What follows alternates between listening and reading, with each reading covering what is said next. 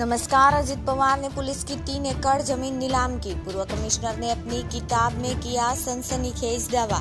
पूर्व आईपीएस अधिकारी और पुणे की पूर्व पुलिस कमिश्नर मीरा वोरंकर की किताब मैडम कमिश्नर से सियासी जगत में हंगामा मच गया है।